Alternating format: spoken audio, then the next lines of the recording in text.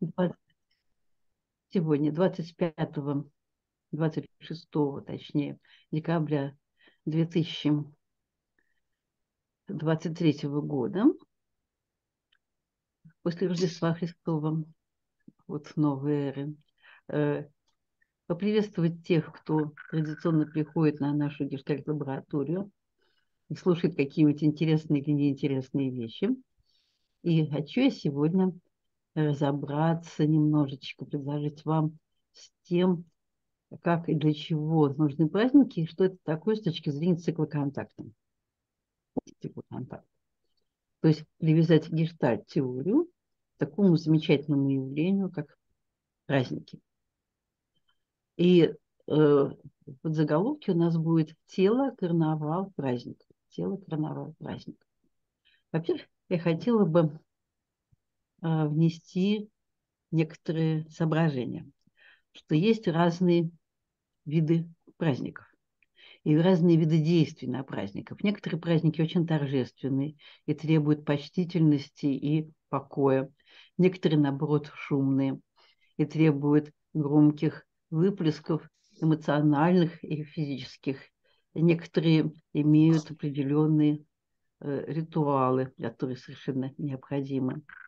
В любом случае, это любят повторять разные авторы, они обнаруживают, что слово «праздник» и слово «праздность» однокоренные, то есть, что мы делаем что-то праздное или пустое, да, если слово порожний, да, ну, праздный, порожний, конечно, не одно и то же, но похоже относительно того, что происходит обычно. И в этом, к этому я вернусь еще э, чуть позже. А для начала я бы хотела разобраться, например, что такое карнавал и что такое маскарад. Вот когда объявляют бал маскарад, это вам не то же самое, что карнавал, правда? А когда объявляют карнавал, это не то же самое, что бал. А когда объявляют бал, это не то же самое, что праздник, а, э, допустим, дня рождения. То есть мы можем устроить бал в честь открытия моста нового через речку, например. Чем они будут отличаться? Очень ясно, правда? На балу танцуют, и к ним специально готовятся, и по моим э, таким сведениям, последние 10 лет прямо культура такая прекрасная стала развиваться, что люди специально за несколько месяцев до мероприятия готовятся к балу, разучивают танцы, готовят костюмы, но больше разучивают танцы, потом их исполняют. Например, это может быть корпоратив, э, крупной организации, где топ-менеджеры приготовят свои танцы. Бальные танцы или какие-то специальные, обычно бальные, с преподавателем. И вот очень старательно их выполнять, и это будет приветствоваться. Есть маскарад. Маскарады – это интересно. Они то входят, то выходят из моды.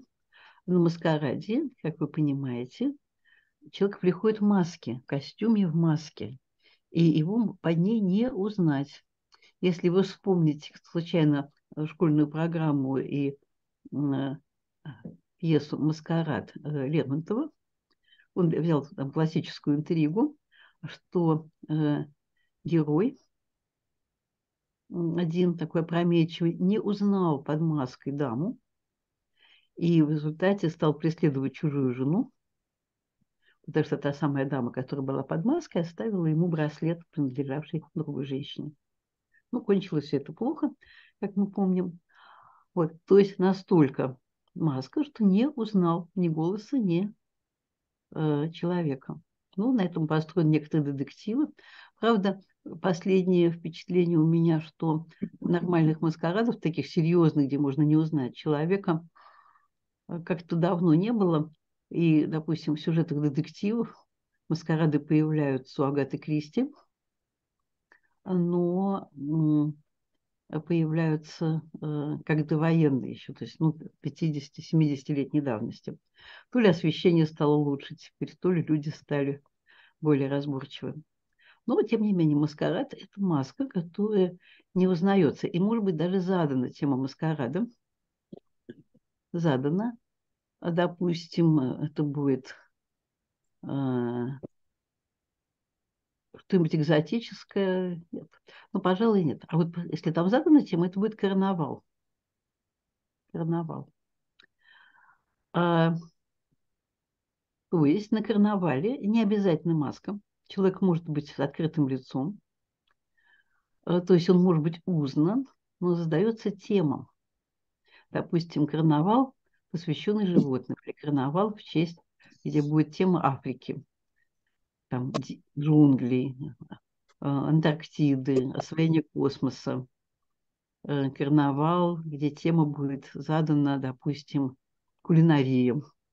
И все изощряются, придумывая всяческие костюмы. обратите внимание, на маскараде нет возможности делать конкурсы костюмов, потому что там могут быть покупные костюмы, там Пьеро, Орликино, там традиционные из итальянского набора восьми персонажей или какие-то другие. Вот нас, допустим, обязательно участвовала бы в маскараде Маша и Медведь, правда? Был бы маска медведя и маска Маши. И могло бы 10 Маш, пожалуйста, и 10 медведей. То есть никого бы это не смутило.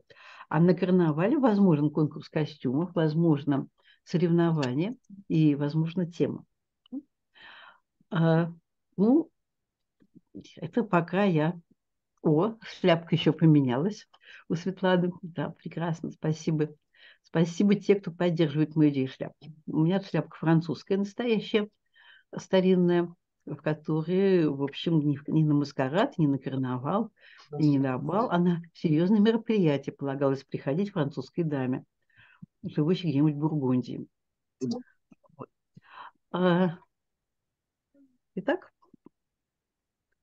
специальная одежда и специальные действия. Допустим, бал, он как-то будет к чему-то приурочен, или он сам по себе будет событием, событием. И может быть, отчет написан на балу, было то-то и то-то. У нас сейчас заменился вечеринкой пати. Ну, э, допустим, будут тематические пати.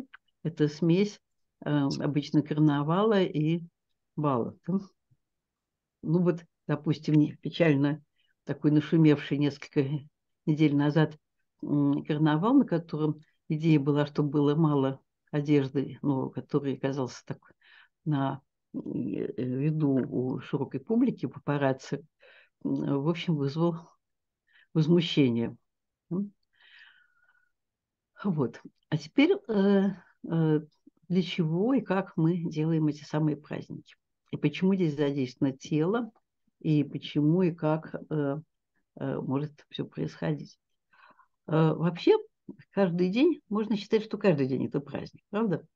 Ты утром просыпаешься, говоришь «Здравствуй, солнышко». Потом живешь день, потом говоришь «До свидания, солнышком» и ложишься спать. Ну, кому-то покажется время сна основной жизнью, а пробуждение будет такой скучной реальностью, как будто наоборот. Жизнь днем настолько интересна, что даже жалко ложиться спать, и как-то так придется э, прощаться с чудесным днем и с нетерпением, с нетерпением ждать следующего, это уже как повезет. Можно, то есть перемены. Перемены, во время которых элемент праздника, ну, совсем маленький. Он в варианте прощай и здравствуй, прощай ночь, здравствуй день, прощай день, здравствуй ночь. То есть такой маленький-маленький ритуал перехода. А может быть, Э, что-то еще мешается в обыденность. Представляете, если бы мы работали 365 дней в году, иногда 366. Это, наверное, праздником был только этот лишний день, да, один. Без сна, без отдыха. Все дни одинаковые, только солнышко меняет свое место. А если ты живешь в Южной Корее, так еще солнце одинаковое день и ночь. По 12 часов идут и идут, идут и идут, идут и идут. Никакой надежды ни на что. Ну, ну на экваторе, да, там же никак не меняется освещенность. Это у нас в нашем климате весна пришла, ура! Осень пришла, ура! Золотые листья, зима пришла, ой! Или ура, там, ну кому как. Вот. Э, необходимо сделать что-то, что это будет полезным, что как-то поставит точку, сделает время осязаемым, время ритмичным. И это праздники, которые мы располагаем а, по календарю. Вот Новый год скоро, и вот мы его будем праздновать. Кстати, в Европе его празднуют мало, празднуют Рождество шумно, а, ну, немножко выходит людей на Новый год, но на праздники, на площадь популять из ракетниц, покричать «Ура!», выпить шампанского. А вот, но теперь согласитесь, такая удивительная история. В своем часовом поясе ты знаешь, что одновременно в этот самый момент в разных городах, в разных домах все одновременно скажут «Ура!» И в этом что-то есть, правда? Ты как бы выходишь из обыденного времени в особенное время, потом возвращаешься в обыденное. Ну или перейдем к более простым календарным праздникам, допустим, Масленицам. А, или э, вот э, деревенские праздники, к сожалению, горожане совершенно о них забыли, их не используют, когда все переоди колядки, когда все переодеваются, надевают вывороченные тулупы, дети ходят по домам, просят конфеты, изображают чертей и всячески ну, вот, мучают взрослых. Совершенно законный, законный и, главное, единомоментно, обратите внимание, на единомомент в разных поселениях – я могу знать, что если я живу в деревне, допустим, Верхняя Волга, а приеду в деревню Нижние там, Вяземки, то все равно я застану тот же самый праздник. Карнавал, который будет в странах католического такого круга, а, ну, он будет в испаноязычных странах обязательно, он будет в Германии, у меня есть видео чудесных карнавалов в небольших городах на границе Голландии и Германии. И видео а, на Кипре карнавала. Шествие. Люди идут в масках, изображают что-то. На Кипре меня что удивило, карнавал, там обязательно было представлены госучреждения, в том числе мэрия. И моя подружка, которая мне сделала такой подарок, мы пошли на карнавал, она сказала, ну, известное дело, они в этом году опять будут в, этом, в этих костюмах. Они одеваются в пародийные костюмы заключенных. То есть такие полосатые э, комбинезоны, э, что типа так вот они при начальстве мэрия, да, городская этого городочка, в котором дело происходило, а значит вот тут они наоборот. Вот говорит, никакой выдумки, они всегда одинаковые. Но э, каждая организация, да, каждая деревня были представлены своей красивой, как-то украшенной машиной, и рядом с ней шествие в тематических костюмах. Ну, вот мы как-то, как культура, э, по политическим соображениям потеряли первомайскую демонстрацию, хотя жалко, потому что в разных странах мира проходят первомайские демонстрации, но как-то наши власти после перестройки заодно выкинули такое чудесное э, дело, а, как пройтись в начале майских праздников по улице, так вот, с цветочками в руках, выкрикивая всякие дурацкие лозунги с детьми, э, вот, ну, солидаризируя ну, простых смертных и труд. Обидно даже, да, потому что праздник был совершенно невинный, но как-то он пострадал вместе с общей борьбой. И, кстати, интересно, правда, поменяв э, как бы стиль власти, власть предыдущие праздники отменила и назначила новые в новые даты. Ну, так же, как э, любая победившая крупная группировка и в древности заменяла местные праздники чужими. Можно оставить костюмы, оставить быт, оставить орудие труда, вот праздники надо заменить, потому что и сразу становится понятным, для чего они, что они связывают мир волшебный мир особенный, верхний сакральный душевный мир, э, прагматичный, здешний. Вот. Обратите внимание, я даже не буду сейчас касаться церковных праздников, которые объявляются заранее и которые все знают соблюдают, верующие, неверующие. Ну, главное, это календарные да, праздники. Они для всех одинаковые, для всех. То есть, допустим, в городе э, Вильнюсе э, по, на Пасху по городу делается обязательное шествие с такими шестами, украшенными красивыми веточками растений. вербы, вербы, веленские вербы, называются вербами. Вот я что-то забыла э, приготовить. Если вы сейчас потерпите немножечко, я сейчас принесу свою коллекцию этих чудесных объектов.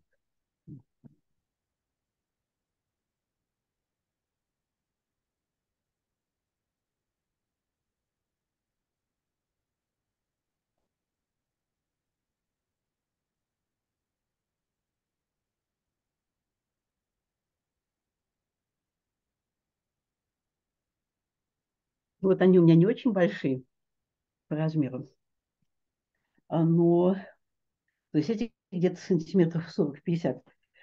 Но самый большой, который у меня был в коллекции, он был человеческому ростом. Такой очень серьезно сделанный объект. Вот веточки, цветочки, вот видите, как, да? И сверху обязательно хохолочки. То есть что-то языческое, но в честь такой даты, которая вроде бы чисто христианская. В общем, почти майский шест. А, то есть люди одеты просто празднично, тоже обратите внимание, празднично, то есть в особенной одежде, которая не надевается в будние дни, и несут в руках вот такие вот штучки. Идешь так и тебя в руках. Ну, можешь сам сделать, можешь купить. Все тушки разглядывают их. Ну, только в Вильнюсе. Больше нигде этого нет, этого обычая. В соседнем Каунасе уже нет. А, то есть здесь смысл в том, что в этот день, а в Новый год даже в этот час, в разных местах делают одно и то же. И этим очень, ну, как бы отмечают, что отмечают? Единство мира, единство планеты, единство себя этого мира, какой-то ритм. Теперь есть праздники календарные, персональные, где э, отмечаются именно для этой семьи, для этого человека. Это у нас что будет? Дни рождения, дни свадьбы, ну, именины. Именины. Иногда дни повиновения. Вот. То есть это объединяет маленькую группу, персональную группу. Мы можем знать, что в этот день у людей что-то происходит. И я знала одного человека, который категорически не устраивал семейных праздников. Он дожил лет до 40, именно под лозунгом «я не буду делать то, что делают все, я свободный человек» и так далее. Потом все-таки сдался на уговоры. И оказалось, что у него много друзей, и что это очень весело, и что можно действительно собраться либо в кафе, либо дома.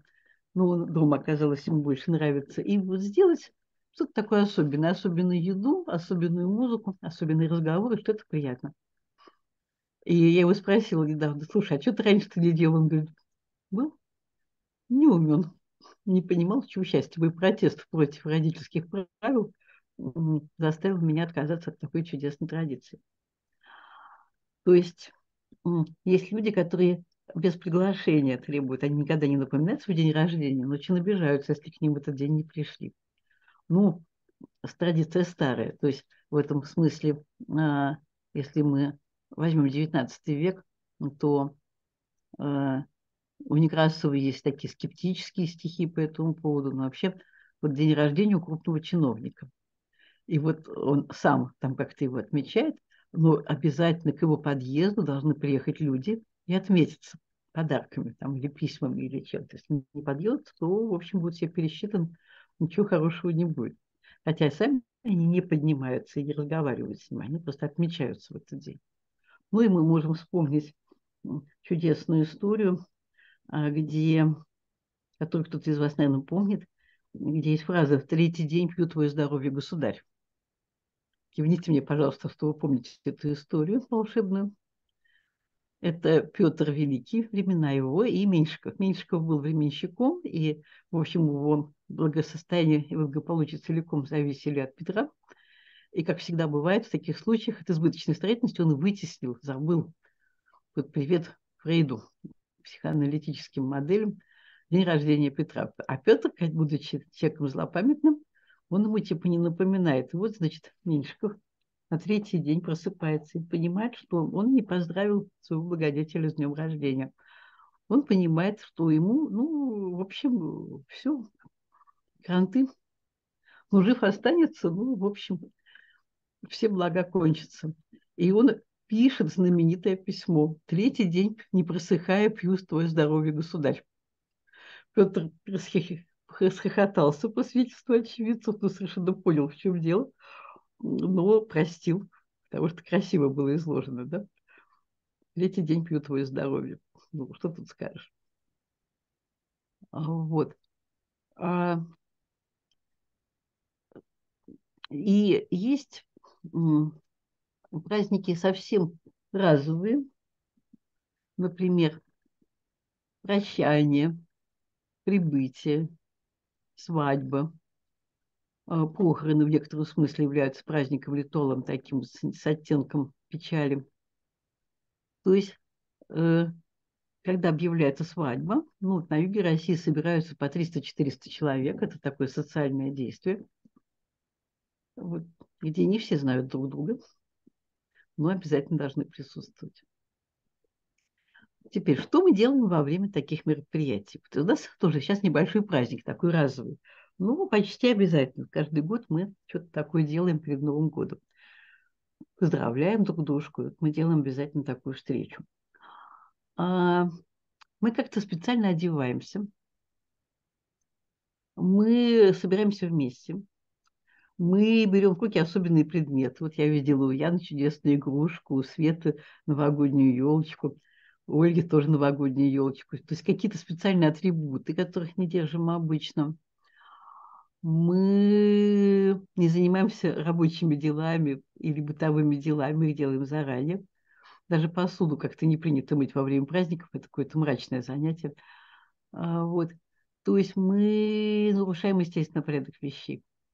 Вот я приготовила шляпку, и которую я ни разу не показывала в эфире. Вот, она мне лежала на готове просто несколько месяцев. А теперь нам надо обязательно сделать еще что-то. Строго говоря, как мы уже понимаем, функция праздника – это создание какого-то изменения, правда? То есть это, по сути, ритуал, всегда э, ритуал перехода. То есть вот, если широко посмотреть на дело, то это ритуальное действие, которое соединяет разные пласты реальности, ну, прежде всего, реальность волшебного мира, реальность реального мира а, вместе. А, то есть их задача а, внести помеху в обыденную реальность и позволить миру собраться заново.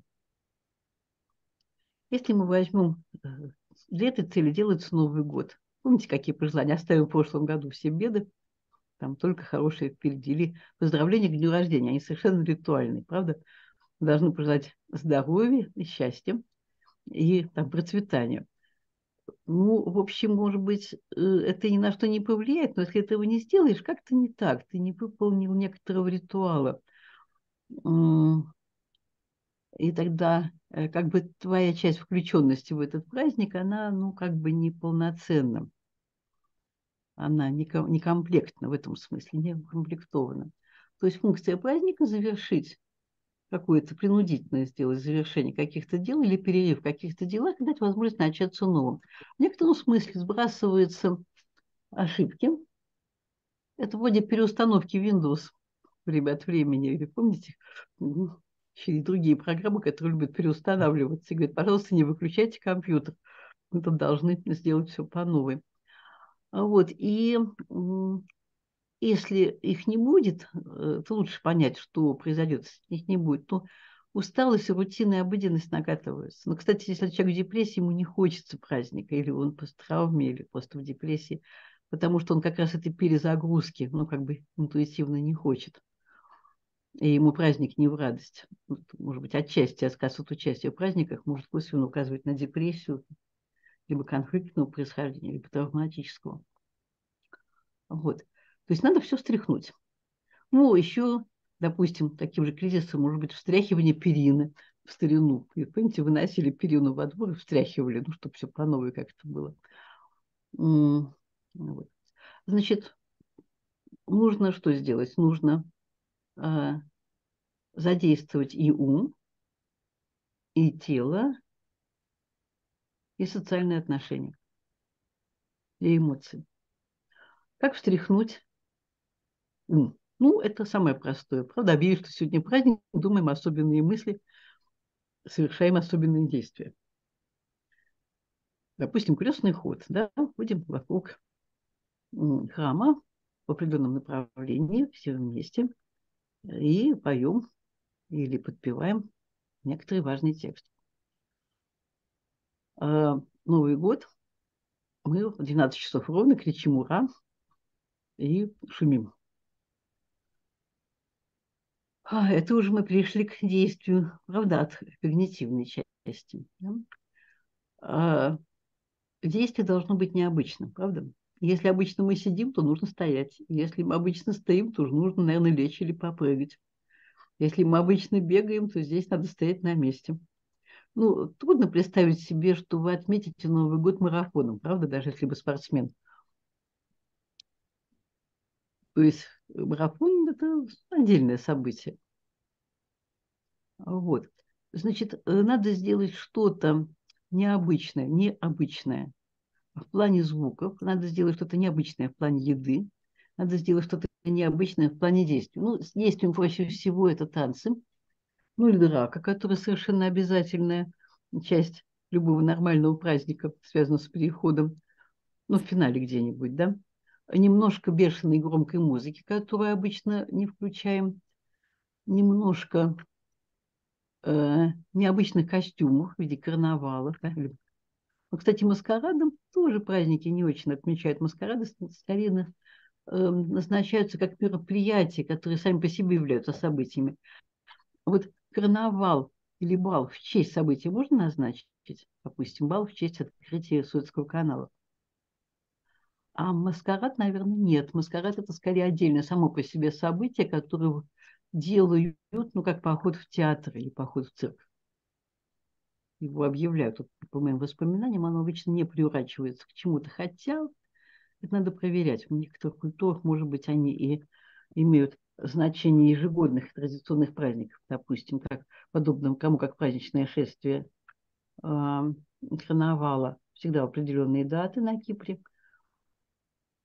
Ой, на Тенерифе это какие карнавалы? Мне прислали друзья прошлогодние, там и с цветами выкладываются на улицах колоссальные рисунки. Колоссальные, то есть. А, и они живут только один день. Потом ну, это лепестки цветов, потом их разметает ветер. Это очень красиво. Все ходят и смотрят. Вот. Э, необычная система отношений. Ну, на карнавале это просто.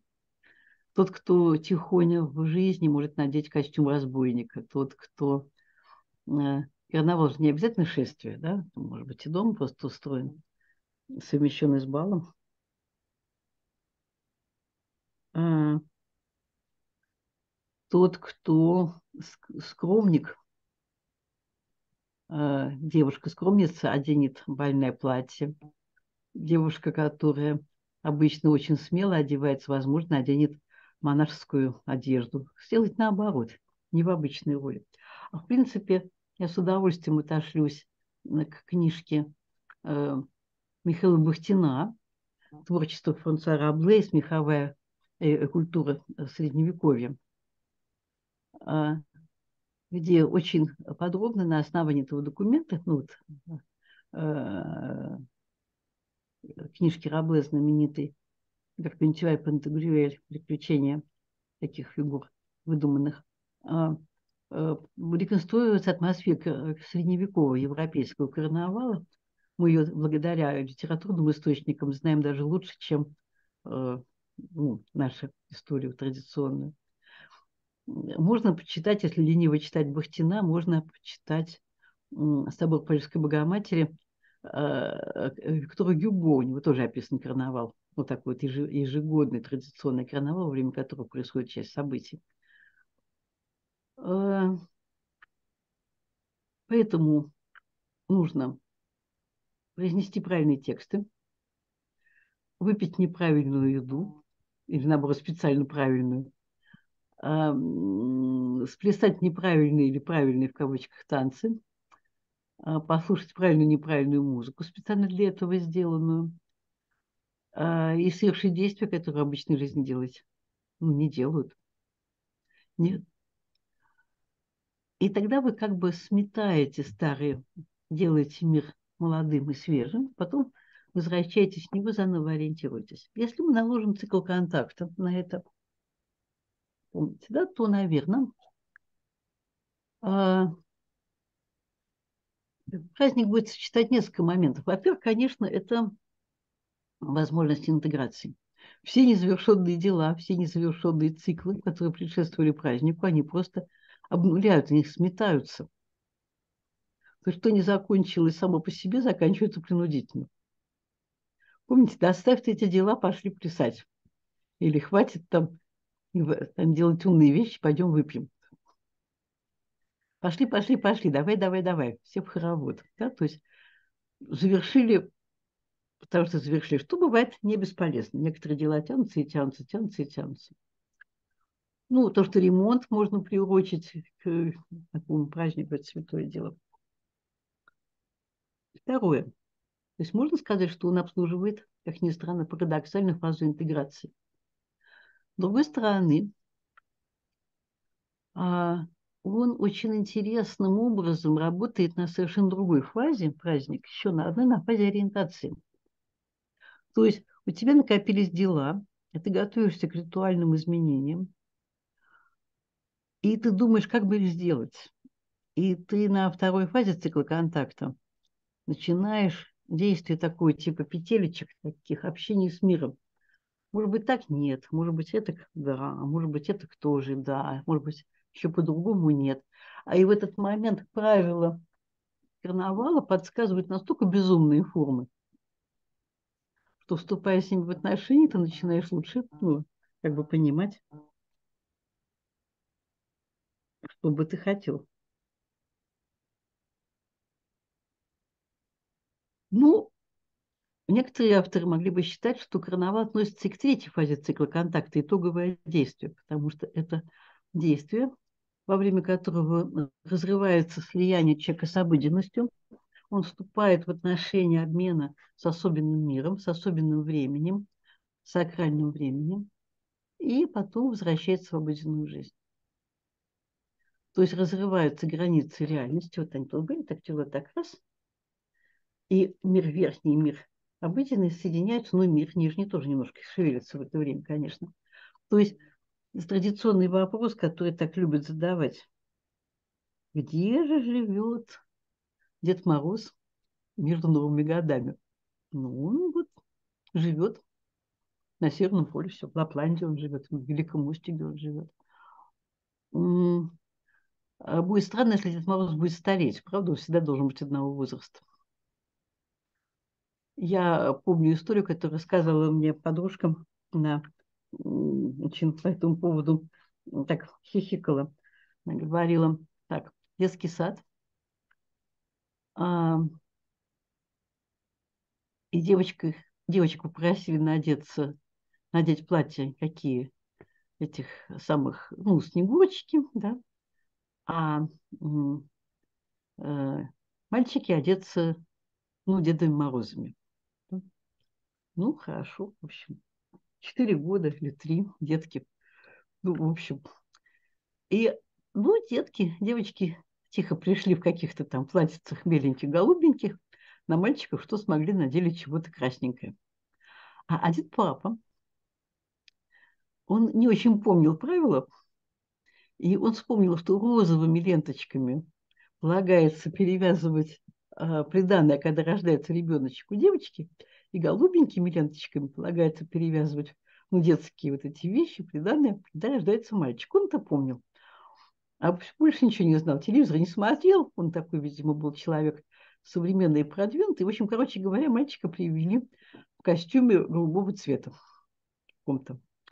Воспитательница детского сада сказала, что она его не пустит на занятия. потому что, значит, ну, надо поменять костюм. Папа в ответ завелся и сказал, что вот есть такое правило, он тут не знает, что тут все дураки.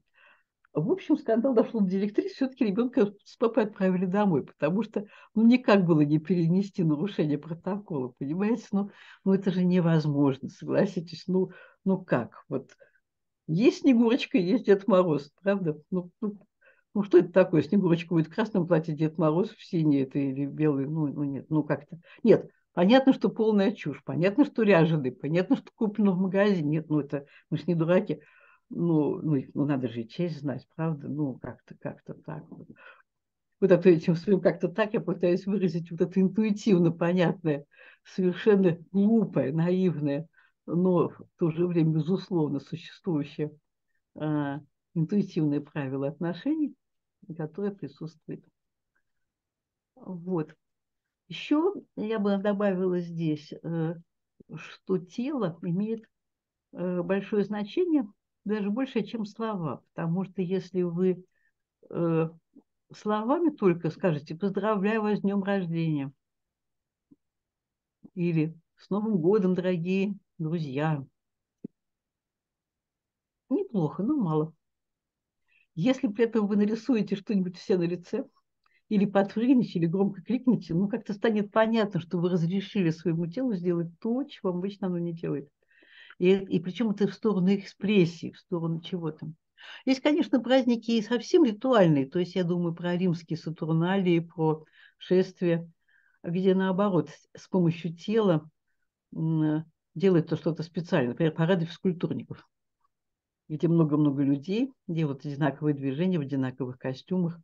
Ну, если мы вспомним недоброй памяти фильм «Олимпия», который вот снимался э, э, 30-е годы в Германии, э, который произвел очень большое впечатление на аудиторию. Там как раз максимально использована тема тело, превращенное в ритуальный объект.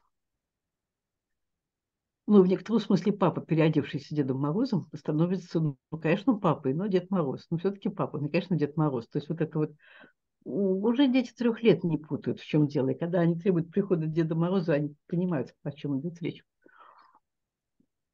Вот. И еще хотела рассказать о том, что праздники надо проектировать. Допустим, ритуалы. Если человек заболел, ну, здесь ритуал выполняется автоматически. Все кладут его в постель, просят не ходить на работу, приносят вкусную еду и лекарства. Вызывают специального человека под названием доктор. Но не все догадываются сделать праздник выздоровления. А по идее надо делать и праздник выздоровления тоже возвращение к жизни. А, вот. А, ну, э, праздники завершения э, цикла, цикла учебы, цикла э, работы. Допустим, буровики поработали, поработали вахту, перед отъездом обязательно отвальная, правильно? Или студенты закончили вуз, потом отмечают, потом еще каждый год следующий 10, 20, 30, 40, 50 лет встречаются – вот. Костюмчики специальные шьют. Вот даже такой бизнес кто-то придумал. Э, либо заказывать, либо отшивать такие мантии, похожие на ну, средневековые мантии, там шляпочки такие.